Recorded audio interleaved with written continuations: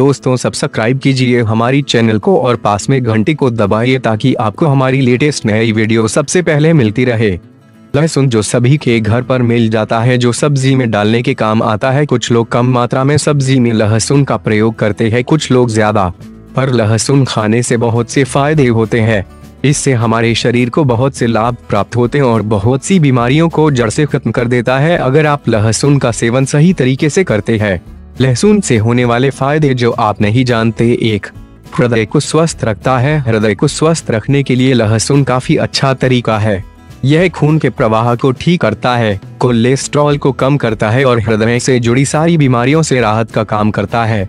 अपने हृदय को साफ़ रखने के रोज खाली पेट लहसुन की कलियों को पीसकर खाए। दो, सर्दी, खांसी और जुकाम को ठीक करता है। लहसुन में एंटीबायोटिक एंटीवायरल और एंटीबैक्टीरियल गुण होने के कारण सर्दी, खांसी और जुकाम फैलाने वाले बीमारियों को नष्ट करता है।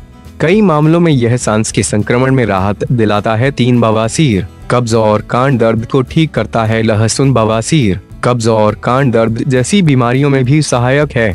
यदि आप बवासीर और कब्ज के उपचार में इसका प्रयोग करना चाहते हैं तो कुछ पानी उबाल कर तथा इसमें अच्छी मात्रा में लहसुन को पीसकर डालें और फिर घोलकर पी जाएँ।